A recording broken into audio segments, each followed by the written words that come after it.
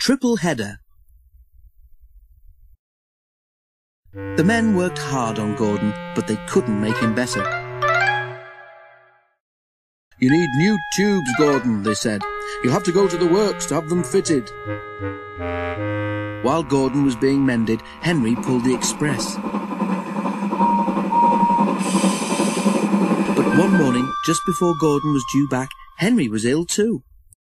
We've no spare engine except Thomas, the inspector told the Fat Controller, but he can't pull the train on his own. Could Percy help? asked the Fat Controller. The inspector shook his head. The two of them with Duck might manage, he suggested. It's only as far as the works.